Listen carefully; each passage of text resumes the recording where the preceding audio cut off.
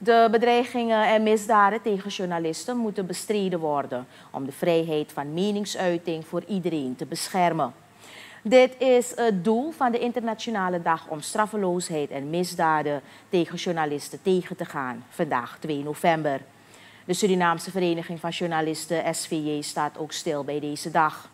Volgens SVJ-voorzitter Fish Mohani Thomas moeten journalisten niet vergeten dat tussen 2006 en 2020 wereldwijd meer dan 1200 journalisten zijn vermoord.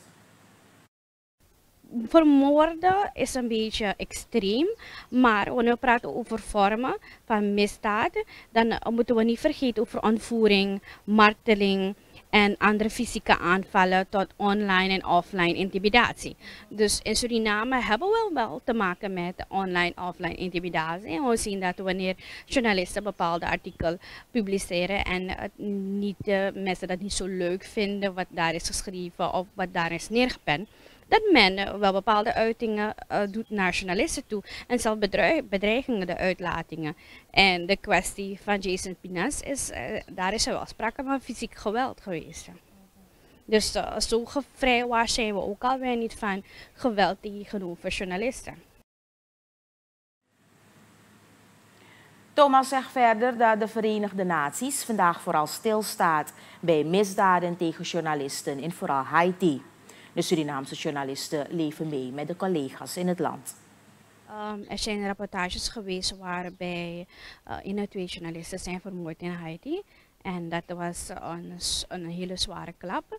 Ik kan me nog heel waren in een soort online sessie toen we de, informatie kregen.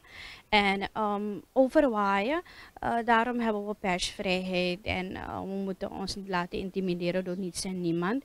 En um, eigenlijk die samenleving blijven educaten wat persvrijheid, vrije meningsuiting betekent. En dat er consequenties aan verbonden zijn als je um, aan een journalist komt. Je mag een journalist niet bedreigen. Je mag, de, je mag hem niet zelf aanraken of mishandelen. Trouwens, dan moeten we kijken naar de case van Jason Pinas, waar um, de drie mannen die hem hebben mishandeld, um, berecht zijn geworden en we hebben de zaak gewonnen. Dus dat geeft al aan, um, je moet met je handen afblijven van journalisten. En bedreiging, intimidatie, op welke manier ook online, moet men niet doen, want je komt aan de vrije meningsuiting. En dat is een heel belangrijke niet alleen voor wij journalisten, voor de hele samenleving. Ook de Associatie van Caribische Medewerkers, ACM, roept op tot beëindiging van straffeloosheid voor misdaden tegen journalisten en drukt haar Caribische collega's op het hart om een oog in het zeil te houden, dat de gevallen van Haiti niet verder verspreiden naar de regio.